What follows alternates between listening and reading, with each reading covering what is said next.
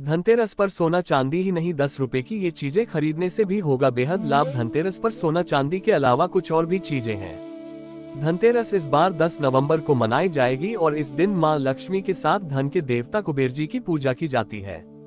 इस दिन दान पुण्य करने से आपको तेरह गुना धन की प्राप्ति होती है। आइए जानते हैं पूजा करने और खरीदारी करने का शुभ मुहूर्त कब से कब तक है। हिंदू धर्म में शुभ कार्य मुहूर्त देखकर ही किए जाते हैं ताकि वह कार्य बिना किसा बाधा के पूरे हो सके और उन कार्यों का शुभ फल प्राप्त हो।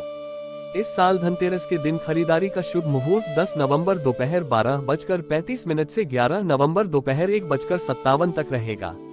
वहीं इस दौरान बर्तन और सोना चांदी आदि खरीदना बहुत शुभ माना जाता है। मगर आपको बता दें कि सिर्फ़ बर्तन व सोना चांदी ही नहीं, धार्मिक मान्यताओं के अनुसार धनतेरस पर कुछ और चीज़ें खरीदने से भी माँ लक्ष्मी की कृपा बनी रहती है। धनिया खरीदने का मिलता है फल। धनतेरस पर धनिया खरीदना बेहद शुभ माना जाता है। मान्यता है कि धनतेरस पर धनिया खरीदने का फल मिलता है। आप प्रसाद के लिए धनिया का इस्तेमाल कर सकते हैं। वहीं पूजा में माता लक्ष्मी को धनिया के बीज अर्पित कर इसे अपनी तिजोरी में रख दे, इससे लाभ मिलेगा। झाड़ू खरीदने से दूर होती है दरिद्रता। धनतेरस पर झाड़ू खरीदने से घर में सुख शांति का वास रहता है। वास्तु शास्त्र में झाड़ू का संबंध माँ लक्ष्मी से जोड़ा जाता है। इसलिए इस दिन झाड़ू ज़रूर खरीदनी चाहिए।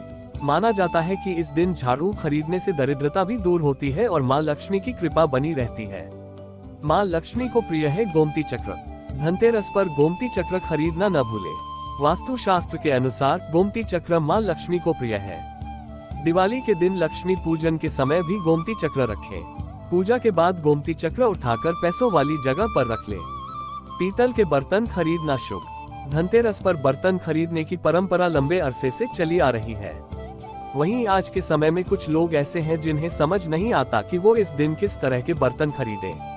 आपको बता दें कि धनतेरस पर पीतल के बर्तन खरीदना शुभ माना जाता है। इससे सुख समृद्धि की प्राप्ति होती है।